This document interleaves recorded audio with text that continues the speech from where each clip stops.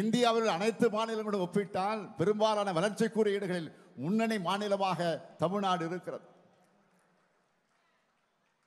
இந்தியாவில் அனைத்து மாநிலங்களின் ஒட்டுமொத்த உள்நாட்டு உற்பத்தியை பொறுத்த வரைக்கும் மகாராஷ்டிராவுக்கு அடுத்ததாக தமிழ்நாடு இருக்கிறது. உலக சுகாதார அமைப்பானது ஆயிரம் பேருக்கு ஒரு மருத்துவர் இருக்க வேண்டும் என்பதை வலியுறுத்துகிறது. ஆனால் தமிழ்நாட்டில் இருநூற்றி ஐம்பத்தி மூணு பேருக்கு ஒரு மருத்துவர் என்ற விகிதத்தில் மருத்துவர்கள் இருக்கிறார்கள். இந்திய அளவிலான தனிநபர் வருமானத்தை விட தமிழ்நாட்டில் தனிநபர் வருமானம் என்பது அதிகம். பட்டினி சாவுகள் இல்லாத மாநிலமாக தமிழ்நாடு இருக்கிறது. இந்தியா முழுமைக்கு தலை சிறந்த நூறு பல்கலைக்கழகங்களில் இருபத்தொன்னு தமிழ்நாட்டில் இருக்கிறது. இப்படி தமிழ்நாட்டினுடைய சாதனைகளை நான் சொல்லிக்கொண்டே போக முடியும். இதுதான் திராவிட மாடல் வளர்ச்சி. திராவிட மாடல் ஆட்சி. எனக்கு இருக்கும் ஆசையெல்லாம் தமிழன் அனைத்திலும் முன்னேற வேண்டும் என்பது மட்டும்தான் என்றார் தந்தை பெரியார். அத்தகைய கனவை செயல்படுத்தக்கூடிய செயலை பேரறிஞர் அண்ணாவும் நம்முடைய முத்தமிழர் கலைஞரும் ஆட்சியில் அமர்ந்து நிறைவேற்றி காட்டினார்கள். அந்த செயற்கரிய செயலை செய்யக்கூடிய கடமை இப்பொழுது என்னுடைய தோளிலே சுமத்தப்பட்டிருக்கிறது.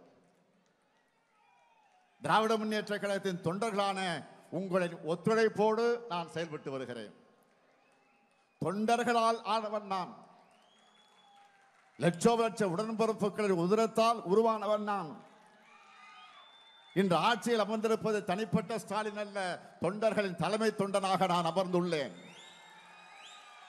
உடன்பிறப்புக்களால் நான் உட்கார வைக்கப்பட்டிருக்கிறேன். கட்சி ஆட்சி ஆகிய இரண்டையும் ஒரு சேர வழிநடத்தி வருகிறேன். கட்சி இல்லாமல் நாம் ஆட்சிக்கு வந்து விடவில்லை. இனி தமிழ்நாட்டை நிரந்தரமாக ஆளப்போவது கழகம்தான் என்று நான் தொடர்ந்து சொல்லி வருகிறேன் சொன்னால் இதை தொடர்ந்து நான் சொல்லி வருகிறேன் சொன்னால் சிலரை மனதிலே வைத்து அல்லது என்னை மட்டும் நம்பி நான் அதை சொல்லவில்லை. ஏதோ அகங்காரம் துணைக்கு வகையில் அதை நான் சொல்லவில்லை. கலைஞரின் லட்சோப லட்ச உடன்பிறப்புகள் மீது நம்பிக்கை வைத்துத்தான் அதை நான் சொல்லுகிறேன். கோட்டையில் நம்மை அமர வைக்க தொண்டர்களால் தான் முடியும். தொண்டர்களால் மட்டுமே முடியும். இது அசைக்க முடியாத நம்பிக்கை கொண்டவன் நான். ஆட்சி இருந்தால்தான் இந்த நாட்டை வாழ்விக்க முடியும்.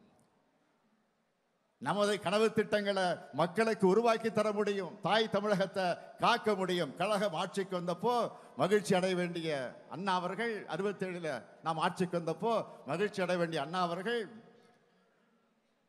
வருத்தத்தை வெளிப்படுத்தியதாக தலைவர் கலைஞர் அவர்கள் எங்களிடத்தில் பல நேரம் சொன்னது உண்டு ஆட்சிக்கு வந்துட்டோம்.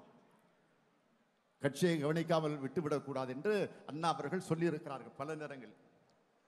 அப்படி இல்லாமல் கட்சியும் ஆட்சியும் இரு கண்களாக காக்க வேண்டும் என்று தலைமை கழக நிர்வாகிகளையும் அமைச்சர்களையும் மாவட்ட செயலாளர்களையும் சட்டமன்ற நாடாளுமன்ற உறுப்பினர்களையும் உள்ளாட்சி பிரதிநிதி அத்தனை பேரையும் நான் கேட்டுக்கொள்ள விரும்புகிறேன்.